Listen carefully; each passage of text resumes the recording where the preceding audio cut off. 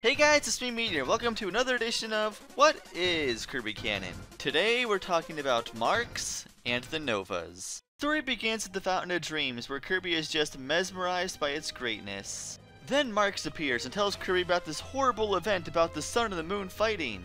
Once he has Kirby's attention, he convinces him the only way to get them to stop is by asking the Nova for help by collecting pieces all across the galaxy. Only then will Popstar be brought back to peace. Kirby agrees to help and begins his journey to summon this ancient wish-making creation. Once Kirby successfully gathers all the pieces to summon the Nova, we find out, surprise surprise, Marx was a complete liar.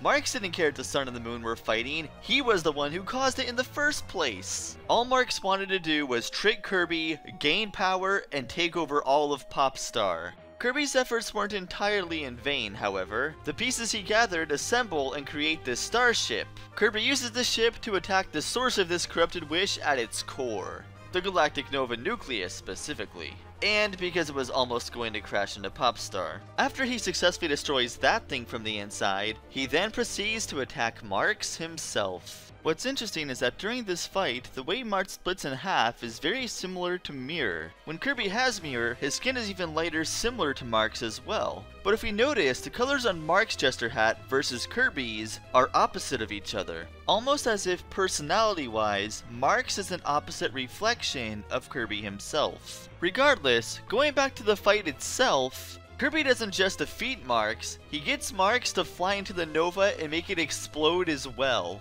Considering how much force it would take to get the Nova to explode simply by running into it, it's hard to imagine anything surviving that. Because of this, we can safely assume that Marx is dead. Right?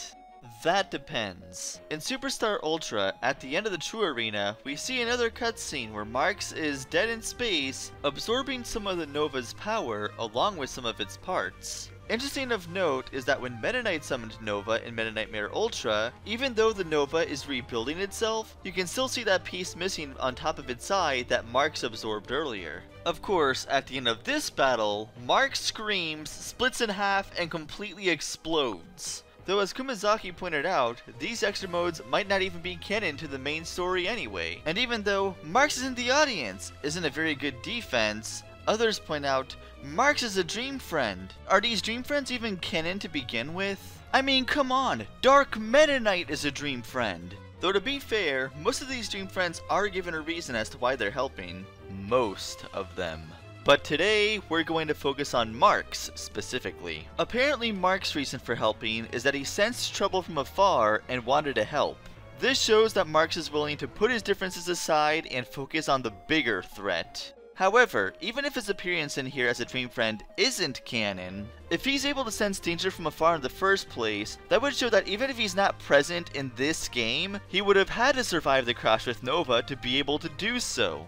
And even if Marx is alive, thankfully he doesn't seem to care too much about world domination anymore. As long as he's well fed, apparently. Seriously, even if it's not true, the idea that Marx attacked simply because he was hungry is hilarious to think about. So that being said, if Marx is alive and the extra modes aren't canon, that would also mean that the Nova never got rebuilt and is still completely destroyed. But thankfully, as we find out from Magolor, Nova was just one of many clockwork stars. We even see another one in a newer game, but that's a different episode. And with that, we've talked about everything we needed to in this one.